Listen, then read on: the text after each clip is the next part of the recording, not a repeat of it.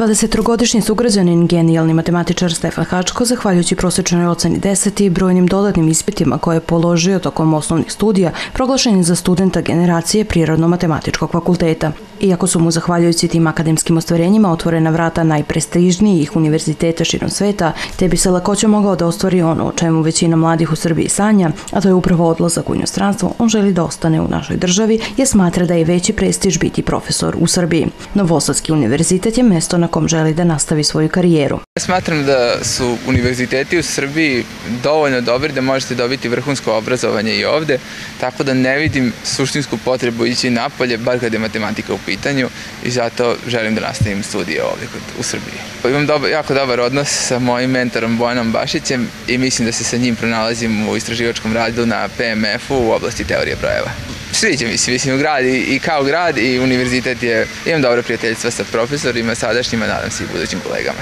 Put do zvanja studenta generacije nije bio ni malo lag. Istakao je Stefan, dodavši da je bilo potrebno mnogo odricanja, sati i sati kontinuiranog rada, nadmetanja sa kolegama, ali i malo sreće da sve ispite položi u prvim ispitnim rokovima. Iako je do titule studenta generacije došao zahvaljujući matematici, ovaj briljantni mladić kaže da je matematika u osnovnoj školi za njega bila bauk, a dodao je da je ljubav prema ovom predmetu otkrio u gimnaziji Dušan Vasiljev. Na moju veliku sreću dobio sam profesora Živko Ivanovskog kao profesora matematike i on me prosto uveo u taj čaroban svet matematike i ja sam se tu nekako zaljubio u matematiku.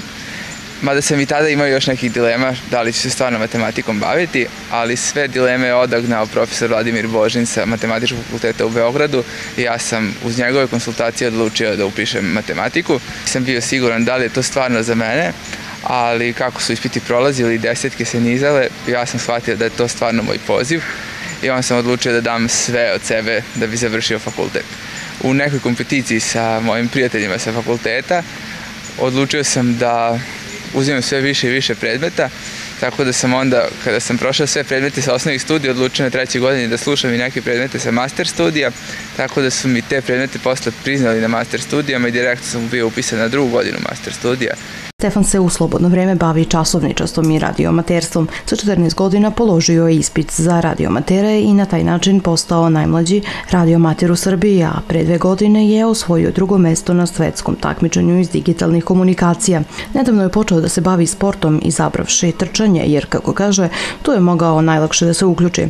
Prvo je trčao kraće deonice da bi kasnije odlučio da se oproba i na dužem, pa je tako nedavno istrčao prvi polumaraton na kome je završio na 97. mestu od 650 ljudi i veoma je zadovoljan ostvarenim rezultatom. Imajući u vidu da je sve ispite polagao prvim ispitnim rokovima, ostajalo mu je dovoljno vremena da putuje. On je rekao da je njegova umiljena destinacija Istočna Evropa, dodavši da putovanja planira tako da može da posluša omiljena operska dela u velikim operskim kućama. Formula za uspeh ovog mladog matematiča je redovan san od 8 sati tokom noći plus redovno pohađanje predavanja i učenje nakon predavanja u trajanju od 6 do 12 sati u zavisnosti da li je ispitni rok ili ne, a vikendi služe za opuštanje i uživanje u brojnim hobijima.